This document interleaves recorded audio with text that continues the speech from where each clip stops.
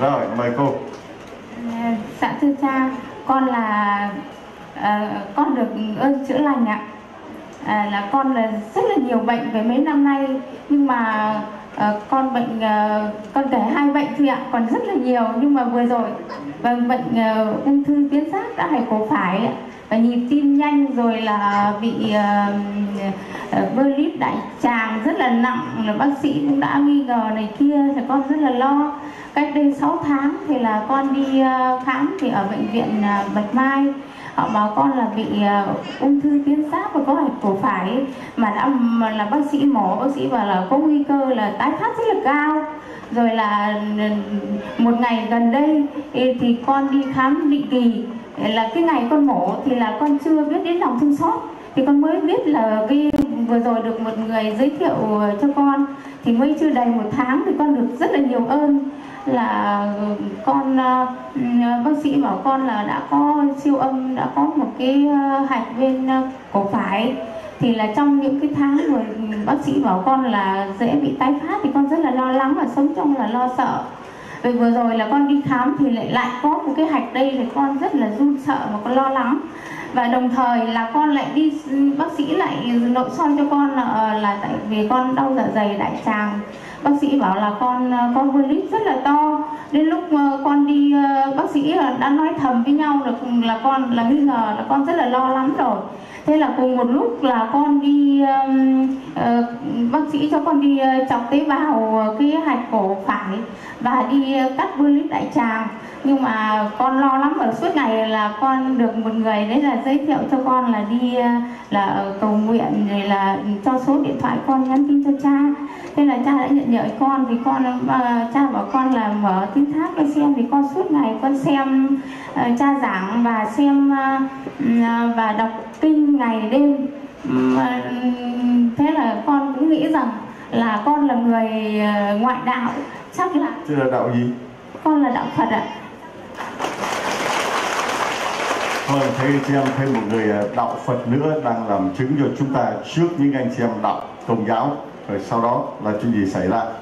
thế là ừm, con ờ, trong những ngày ờ, con chờ đợi lấy kết quả xét nghiệm thì con rất là con suốt ngày con cầu nguyện thôi. Thế là con được ờ, đến ngày con đi ờ, lấy kết quả thì được rất là nhẹ nhàng. Là bác sĩ bảo là sao mà lại may mắn thế lại được ờ, là lành hết ạ.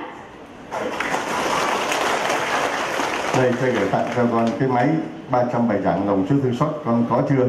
dạ ở nhà thì con chưa có nhưng con mua về là con tặng cho họ thì con vừa mua.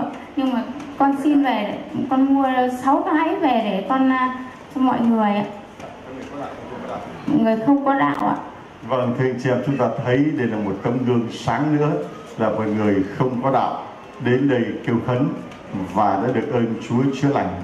Chỉ mua thêm 6 cái máy để về tặng cho những người không có đạo.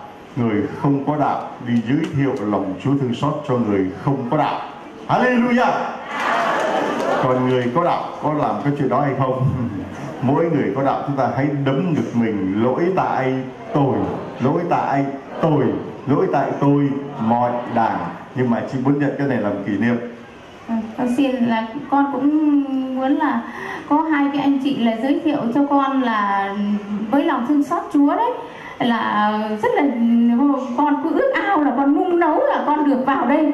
Thế là anh chị cũng đã vào đây và đã dẫn con vào đây và có một chị nữa là ba người này là được ơn của Chúa rất là nhiều đã được cứu sống nhiều. Hôm nay là các chị và anh cũng rất muốn lên làm ờ, chứng cho Chúa. Nhưng mà ờ, ba người đấy để có đạo ạ mà, mà chưa được lên. Ờ, xin cha là cũng cho ba người lên lên để được làm chứng như con ạ. Mong người nào ơi. con nói tiếp à, với lại à, ngày những cái ngày con cầu nguyện mà con muốn nung nấu vào trong đây ý, thì là con được chồng con rất là ủng hộ con và con mở mạng ra xem để chồng con đi làm suốt ngày nhưng về con mở mạng ra xem để chồng con cũng xem là rất ao ước để cho con vào trong đây.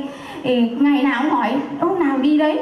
Bảo là à, cũng đang nung nấu đang chờ anh chị đi để cho mình đi chứ có biết nhà bè ở chỗ nào đâu mà đi thế là bảo không ước ao không biết là đến bao giờ mới được vào. Thế mà thế bây giờ con đã được vào ạ. Rồi. tất cả cảm ơn ờ, cha và cảm ơn cộng đoàn ạ. rồi mời à, hai vợ chồng à, chúng ta lên đây phải không? Hai vợ chồng không?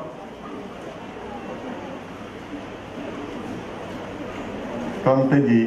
Dạ, con Phêrô Phạm Văn Lộc thuộc dạ con 32 con thuộc giáo xứ Phạm Pháo giáo phận Bùi Chu. Rồi là đứa, đứa con gì? Dạ đây là con gái đầu